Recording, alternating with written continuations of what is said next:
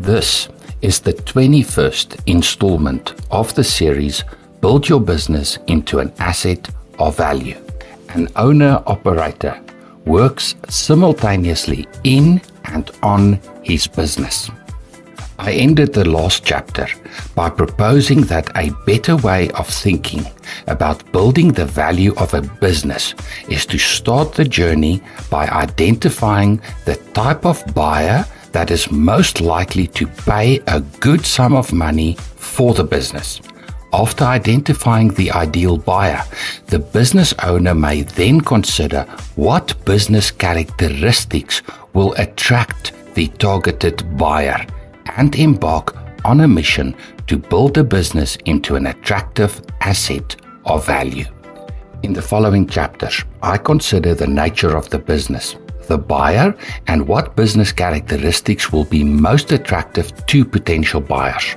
I propose six types of potential buyers owner operator, angel investors, venture capitalists, sell the business backwards, forward, and sideways. First, I consider an owner operator as potential buyer of a business. What distinguishes an owner operator from other potential buyers? What business characteristics is an owner operator looking for in a business? And what type of business is most suited for this type of transaction? The buyer an owner operator. Ideally, a prospective owner operator will have suitable skills gained from experience in a similar industry, an individual willing to invest more than just capital in a business. But an owner operator working in the business requires an income of sufficient value to sustain their desired lifestyle Prospective buyers have many choices when it comes to investing for income. A variety of asset classes generate income, including fixed income assets that generate interest income, property that generates rental income, and equities that generate dividend income. Financial institutions offer another alternative in the form of income producing products like a life or living annuity. A potential buyer will consider the income generating potential of the business in relation to the risk of investing in private equity. As explained in Chapter 19, an investment in private equity, a business, is seen as high risk. The investor will therefore expect a high rate of return. In Chapter 19, I introduced the concept of a risk free rate of return and suggested that the yield offered by a 10 year government bond is a good proxy. I extrapolated the yield, approximately 9.5% per annum at the time of writing, offered by a 10 year government bond across various asset classes and concluded that a prospective investor will reasonably expect a yield of 20% or more per annum from an investment in private equity using operating profit or income as a measure of earnings or income, the investor will calculate the potential yield in relation to the asking price for the business. Please refer to chapter 19, where I discuss the profitability multiplier method of business valuation for an understanding of how operating income is adjusted. Here's an example annual operating income 850,000 Rand, asking price for the business 5 million Rand. The annual yield, therefore, is calculated at 17%. In this example, the prospective buyer will seek to negotiate a lower price for the business since a 17% per annum yield falls short of the expectation. Business characteristics. A potential owner operator will likely seek a business with a track record of consistent earnings, a slow and steady organic growth strategy appeals to a buyer that seeks a business to generate a predictable income. With limited access to capital, an owner operator will favor businesses that require little capital investment, which is why the creative and services industries appeal to these buyers. A potential owner operator wants to buy a machine that works, in essence, to buy time. This type of individual is willing to pay for the time and effort the current owner has invested in the business.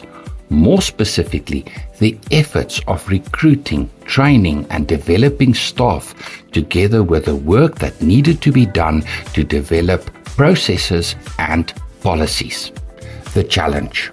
The challenge of selling to an individual owner operator is that these individuals often compare the income that may be generated from other asset classes at much lower risk with the income that may be generated from the business. The result is that they are seldom prepared and often unable to pay the asking price for the business.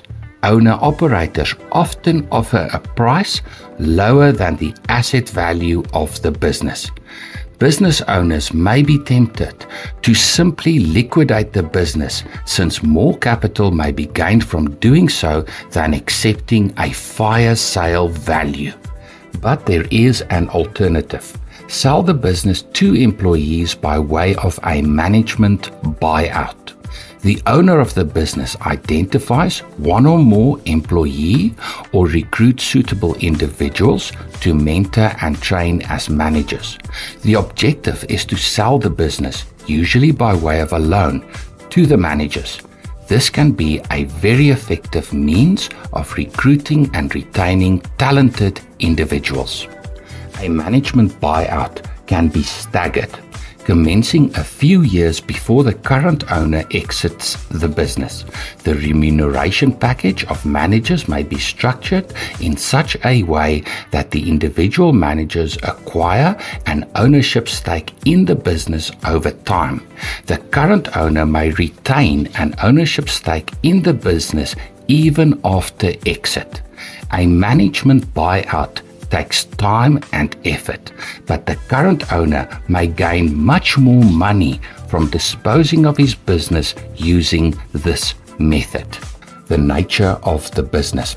In the introduction to this book, I made the point that the first two prerequisites for a business to become an asset of value is operational and financial independence, where the business develops the internal capacities and financial resources to operate without the continual involvement of the owner.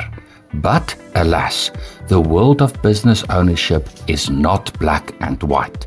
There are many shades of grey.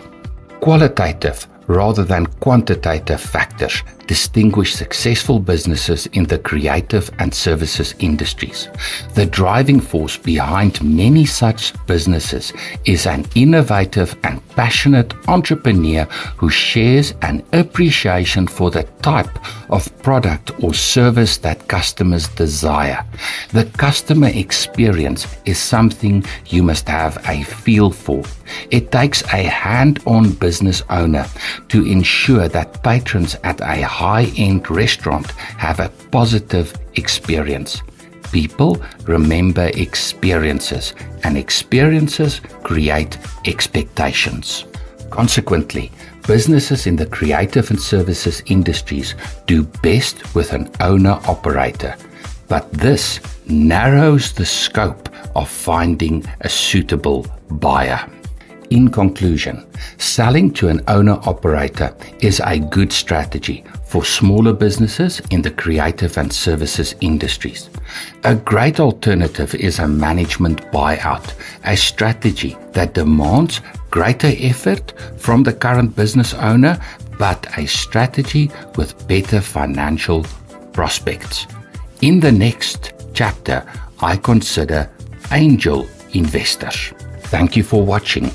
To access the full series, visit Constructum Online Learning on YouTube or click on the link in the post.